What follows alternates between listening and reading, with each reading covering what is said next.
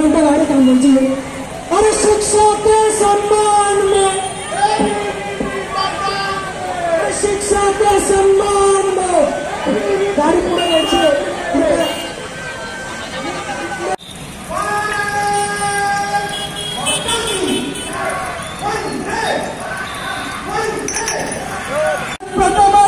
ಎಪ್ಪತ್ತನೆಯ ಪ್ರಜಾಪ್ರಭಾವದ ಆಗಿ ವಿದ್ಯಾರ್ಥಿ ಪರಿಷತ್ भारतीय विद्यार्थी परिषदतर्फे एक तिरंगा पदयात्रेचे आयोजन करण्यात आलेले आहे. तरी सर्व आजची जी जी तिरंगा पदयात्रा अखिल भारतीय विद्यार्थी परिषदेतर्फे काढण्यात आलेली आहे तो एक संदेश देण्यासाठी आहे की देशाच्या एकतेसाठी अखंडतेसाठी सर्व भारतभर विद्यार्थी परिषद अशा तिरंगा यात्रेचं आयोजन करते.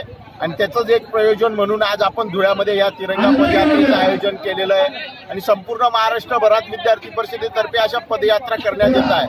त्याचा एकमेव उद्देश आहे की या देशाची एकता अखंडता टिकली पाहिजे.